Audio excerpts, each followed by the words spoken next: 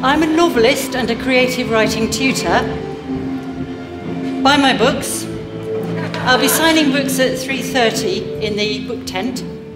And I'm going to share some hints today for aspiring novelists. Are there any here? That's a bit depressing. I'm going to share them anyway. People think that good dialogue in a novel is realistic, like real speech, but it isn't. Good dialogue is convincing. It convinces the reader that it's realistic. Dialogue on the page isn't like real speech, because if you were to maybe go to a coffee bar and record yourselves talking amongst your friends and then try to write a transcript of it afterwards, you'd soon find that it was full of fragments and repetitions and interruptions. And if you just stuck that into your novel, it simply wouldn't work. So I'm going to give you five hints on how to avoid writing crap dialogue. First of all, use the word said. But said is dead. This is what my students say to me because they were taught it at primary school. Don't use said. Branch out, expand your vocabulary. And if you go on the internet, you'll find there are whole lists ready made for you. And here are the G words grasped, oh sorry, gasped, growled, grumbled, grunted, guessed, gurgled, and gushed. In my view, said is not dead. Please use said, she said, because said fades into the background. It's like the paint on art gallery walls. You want people to look at the Mona Lisa, not at your fancy wallpaper. And so you want your, character, your reader to focus on what the characters are saying and not to get distracted by your amazing and exciting vocabulary, your wow words, those of you who are teachers and have had to pass that on to your little ones. So my advice is to use said most of the time, and so that when you do use a synonym for said, it will have much more impact. Point number two, avoid adverbs. An adverb, as you know, is a word that describes a doing word.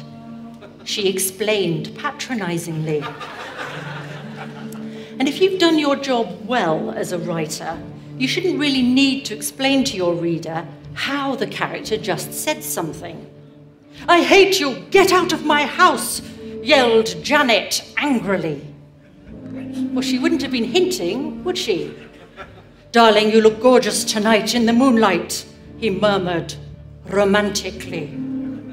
So ration yourselves so that when you do drop in that one rare and perfectly chosen adverb, it will really earn its place on the page. Point number three, don't be boring. Now that probably sounds obvious, but I've marked rather a lot of waffly dialogue in my time, and it's often riddled with cliches. So don't use off the shelf descriptions, and please don't ask your reader to wade through dreary long conversations about whether your characters want tea or coffee. Be ruthless. Cut, cut, and cut again. Ask yourself, what is this bit of dialogue actually doing in my book? Does it reveal character? Does it impart crucial information? Does it help set the scene? Or advance the plot? And if the answer is, well, no, not really, then I suggest you delete it, unless it's very funny. Because dialogue can be used to great comic effect, but less is more. So ask yourself, as a rule of thumb, how much of this can I lose rather than how much can I hang on to? But what should you cut out of dialogue? I suggest that you try cutting out any gestures and actions that clutter it up and slow the pace. I'm going to read an example now of how to do it properly. Not by me. I think many of you will recognize the author. Jeeves, I called. Sir, said Jeeves, manifesting himself. Jeeves, a remarkably rummy thing has happened. Mr. Glossop has been here, and he tells me that it's all off between him and Miss Bellinger.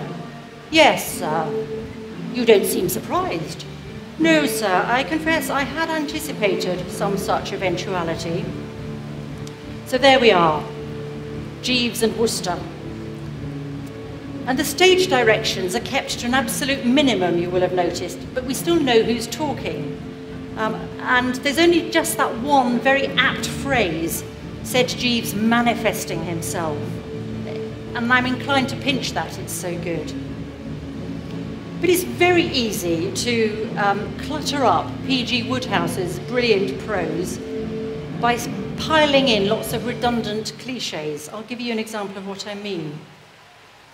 Golden sunlight streamed peacefully through the ancient window, giving the room in my ancestral home a quiet and peaceful air. Jeeves, I called out loud in an audible voice, so that he would hear me and enter the room. Sir, uttered Jeeves, my butler, addressing me formally in polite tones, and coming into the room where I was. Jeeves, I muttered, brushing an imaginary speck of dust from my immaculate dinner jacket sleeve. A remarkably rummy thing has just happened. Mr. Glossop has been here. He tells me that it's all off between him and Miss Bellinger. I explained to him in a calm voice that had a telltale tremor in it, owing to my inner disquiet, which surged in my stomach like a wave on a restless sea. yes, sir, he affirmed, nodding his head wisely in agreement and smoothing his hair in a practiced gesture whilst looking at me with a steady glance of his piercing emerald green eyes. And so on. Don't do it. Think twice about using dialogue to get information across. Don't parade uh, your, your research. Here's an example. Call me old fashioned, but I prefer a longbow to a crossbow, Williams said, although the crossbow was really the first handheld weapon that could be used by an untrained soldier to injure or kill a knight in plate armour. The most powerful crossbows can penetrate armour and kill at 200 yards. Agreed, said Cedric. But they are much less efficient because the draw length and the laugh is so much shorter. Finally, root your dialogue in strong characterization.